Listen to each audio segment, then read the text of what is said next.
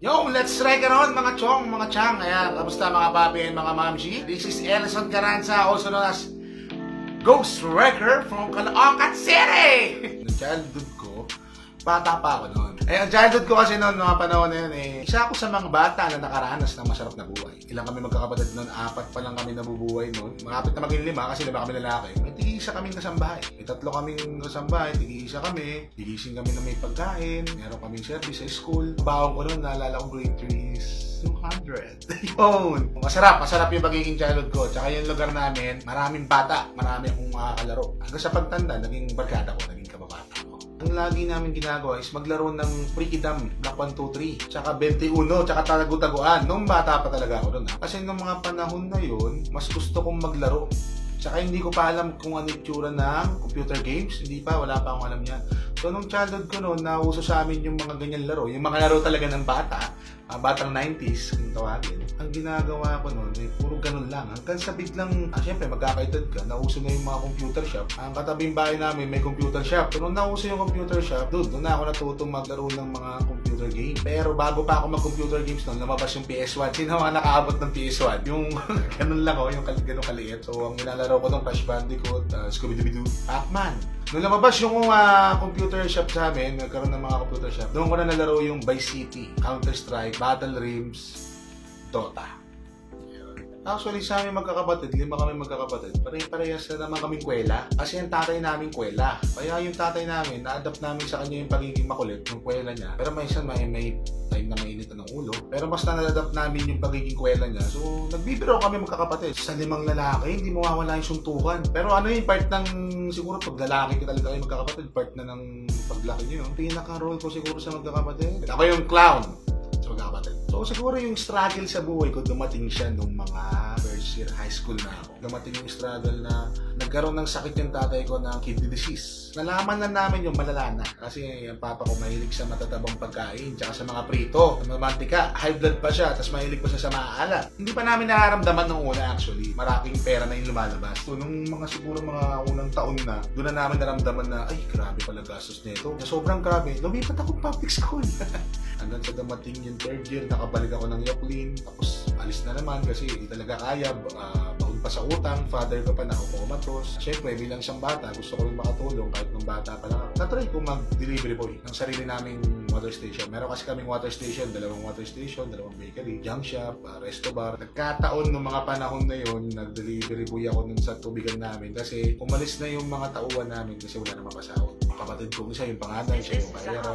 Tapos ako yung delivery boy. Gising ako ng 8 a.m. Tatawag na ako niya, tubig! Tubig! Ayan. So nasanay naman ako kasi pag bata ka pa siguro nung di ka mahihiya eh. Pero nahiya ako noon nung siguro nung sinasabi na ng mga tao sa lugar namin na ito yung anak niya ano to ah. Ito yung may-ari ng Lagranza. Ito yung may-ari ng ano, di ba? Ganun ganito ganyan. Oh, bakit sila yung deliver Medyo nahiya lang ako lang. Konti lang naman. Konting-konti lang. Pero medyo masakit din sa loob ko. Pag naririnig ko na, ay siguro naghihirap na. Ay siguro wala ng pera. Pero to, wala na talaga.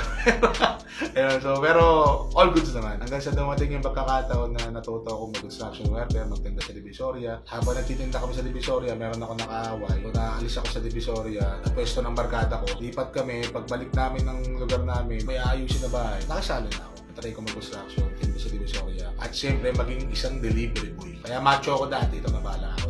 Pinaka-nadikan kong laro, Counter-Strike. So nagkaroon ng Counter-Strike, nauso yung Counter-Strike sa amin. Trash talk on! Trash talk on! Counter-Strike! Pagkatapat kayo ng PC, magta-trash talk on kayo pag nabila patay na isa. Ayun yung mga kinedikan.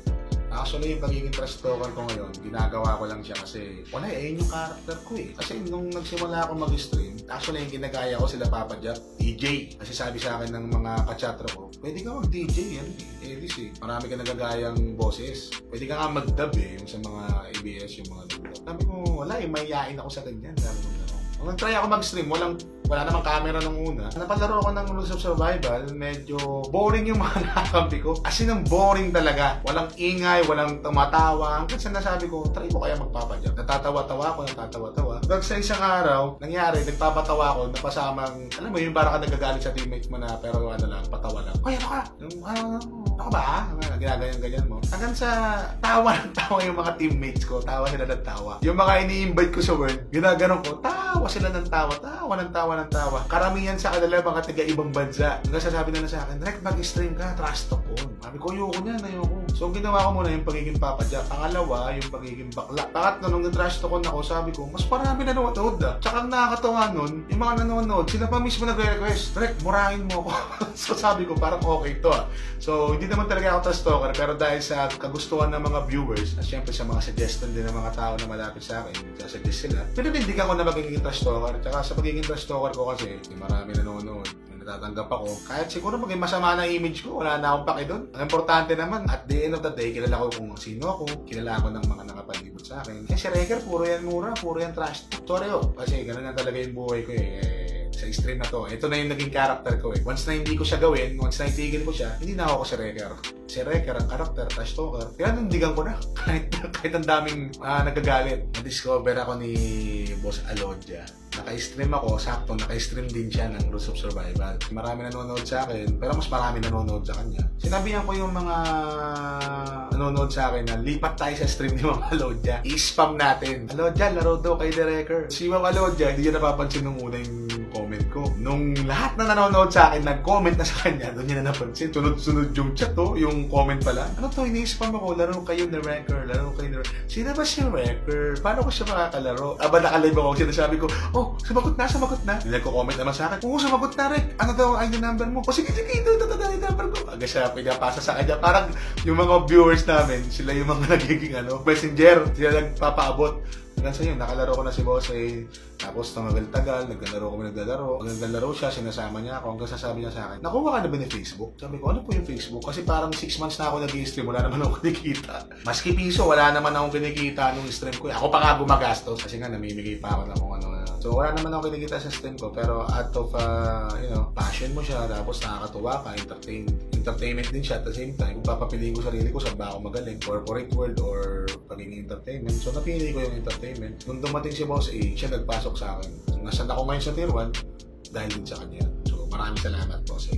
Ang dami ko naranasan na sa streamer. Kasi nung mga panahon sa chatro pa lang ako, nagtuturo ako ng workshop sa mga estudyante ko about arts, theater arts, mga nangyari na first time ko noon sa pagiging streamer na may nambaba siya akin na may mga umaaway na hindi naman ako kalala. Yun siguro, yun yung pinakauna kong naging worst case scenario na naranasan yung husgahan ka ng mga tao na hindi naman hindi ka naman nakikilala. Pero syempre siguro, dahil din sa pagiging trash talker ko, kaya nila ako inusgahan. Pero yun nga, first time ko yun na ay, ganito pala pagiging sa pagiging streamer. Nahuhusgahan ka pala dahil sa ginagawa mong karakter, sa pinapakita mong karakter. Pero nakakuha ko na, na-adapt ko na. Ganito talaga mangyayari siguro. So, panindigan ko na lang to uhusgahan man ako, edi wala. No choice ako eh, uhusgahan ako eh. Pero ayun nga, alam ko naman sa sarili ko kung sino ako. Tsaka yung mga tao na nasa paligid ko, kalila naman nila ako kung sino ako.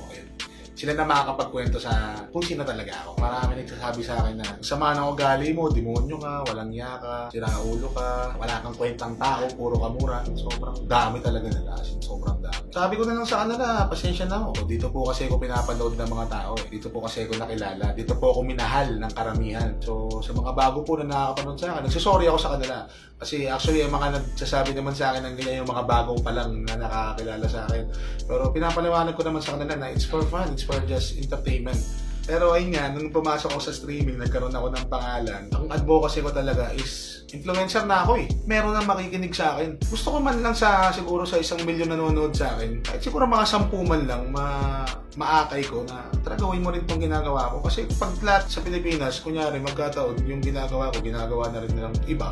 Siguro sobrang ganda ng Pilipinas ngayon. Alam mo yun, yung ganong mentality. Tulungan, walang hatakan. Kung meron man siya mali, tama natin. Tsaka siguro sa pagiging streamer, marami rin ako natutunan. Kasi nung naging streamer din ako, marami rin ako pagkakamali ng mga unang salang ko sa pagiging streamer. Siguro lumaki rin yung ulo ko na overwhelm ako sa mga supporters. Naranasan kong gumante sa mga nagbababa sa akin. Yung mga dininiwala sa akin nung una, ginagantayan ko ng, oh, at na ako ngayon. Hanggang sa sabi ko, mali, mali ito. Imbis na ganun yung gawin ko, itinoon ko na lang sa pagtulong, tsaka sa paghatak patas ng mga nasa paligid ko. So, ayun. Wag na wag kayong gagawa ng masama. Lalo wag na wag kayong hahatak ng tao pababa. Wag kayong maiinggit. Kasi once na maranasan mo yan sa puso mo, aakyat yan sa utak mo. Pag umakyat yan sa utak mo, magiging mentality mo is negative. Na ganito sa ganyan, ganito sa ganito. Hanggang sa magugulat ka, wala ka na. Nalayo ka na sa linya. Oo, passion mo siya, ginagawa mo siya. Pero ang nangyari, nalayo ka na, nalayo ka na sa nangyayari. Kasi mas inisip mo ng, mas inisip mo na yung stream ng iba. Mas inisip mo na yung buhay ng iba kaysa sa'yo. Kasi nainggit ka, na gusto mo, ganito, ay, ba't siya ganito, ba't ako hindi? Wag, mong isipin yun. Kasi once na inisip mo yun, ganyan ka na lang. Isipin mo, andyan na siya, paano ko kaya magagawa yung sarili ko na nandiyan din ako? At paano ko mo naman gagawin na kapag nandyan na ako, mas tumaas pa ako? Ayun ang isipin nyo. So sa mga kapwa ko streamers, naniniwala ako sa kanya-kanyang panahon. Huwag ka lang susuko. Hmm, huwag ka lang susuko. Kaya kaya.